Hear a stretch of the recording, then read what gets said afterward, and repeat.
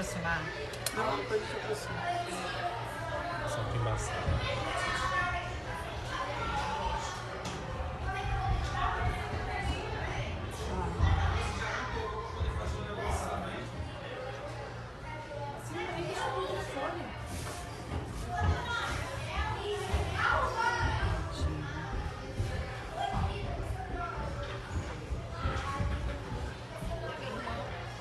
Eu acho que ela fica sem som.